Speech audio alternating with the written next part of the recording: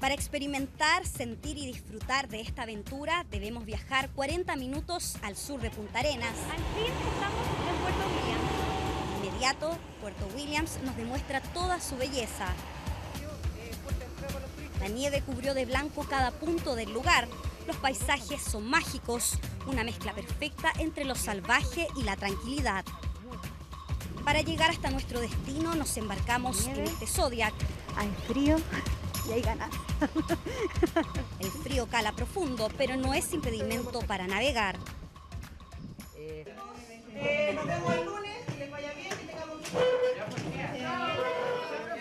Los verdaderos protagonistas de esta historia son estos niños y niñas. Abandonan los lápices y cuadernos para hacer un quiebre en su día.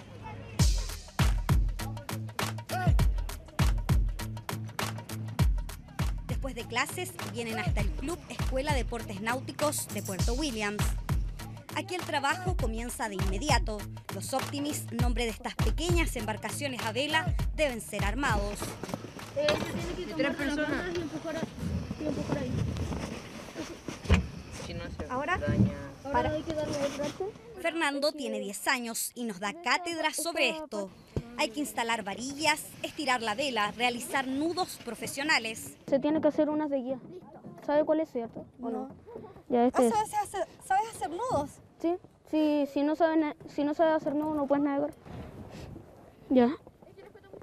Se se- Tensar cuerdas y verificar las medidas de seguridad. La verdad no entendí mucho, pero confío en él. Confío en el niño de 10 años. Después de varias indicaciones, logramos obtener el Optimis listo para navegar. O sea, me gusta navegar porque me siento siento que se rompen las cadenas que me sujetan desde mi casa. Todos los problemas que tengo en mi casa de tarea y, y notas eh, se, van, se van allá. Allá las tiro. Supongamos que mantiene, vuelvo a mirar y le mantengo tirando Conocimientos que estos niños introducen en su ADN, clases teóricas pero muy lúdicas, les permiten saber todo antes de ingresar a Cenolauta.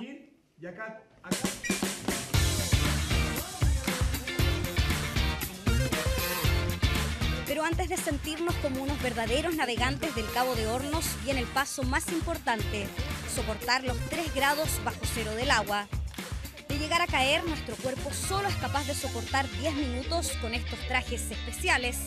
Acostumbrarse al punzante frío y mantener el control es de vida o muerte. Nada, nada, nada, nada, nada. Yo que soy el único macho me gusta, pero hace de- mucho frío cuando me meto. Sí. Y además me, me hundí toda la cabeza, pero mi nariz no se hundió. Creo que no lo voy a lograr. Tras recuperar la sensibilidad de las extremidades, estamos listos para navegar a vela.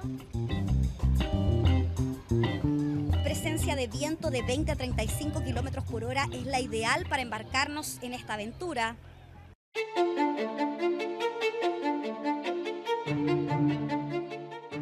Desde el aire o desde un bote, la imagen es símbolo de paz y tranquilidad.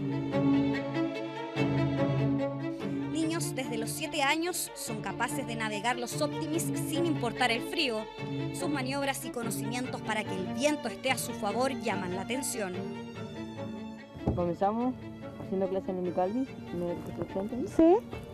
Después nos enseñaron cuál era la parte del barco, qué hacer en caso de que nos tumbemos. Y después nos tiraron, nos tiraron al agua. Después nos enseñaron a navegar y ya estamos compitiendo. Horas de relajo, aprendizaje y aventura para estos niños que están en permanente contacto con el Cabo de Hornos, lugar de ensueño para yatistas y veleristas de todo el mundo. A mí me gusta todo, hasta el paisaje. De hecho, al ver los- a los mismos niños navegando ya me emociona y me dan ganas de seguir adelante. Y, por ejemplo, para ti las bajas temperaturas, el frío, ¿es o no un impedimento? ¿Por qué? Porque, porque es como un clima más. O sea, el frío no, no, no molesta. Y si molesta es como para desarmar los nudos. Puerto Williams sin duda para mí es la ciudad de más náutica que tiene Chile, donde vienen navegantes cruzando el Atlántico para conocer el Cabo de Horno o cruzando el Drake para ir a la Antártida y sin duda vienen de todo el mundo y se encuentran con esta escuela de vela, la que ha de alguna manera tratan de apoyar y se ponen muy felices que niños tan pequeños, de 7, 8 años, están practicando la vela en este lugar. Maravillados con los paisajes, nos despedimos de esta aventura y de estos valientes niños y niñas, pequeños que están en potencia de convertirse en futuros capornieres, estos solitarios veleristas que sueñan con atravesar el místico Cabo de Hornos.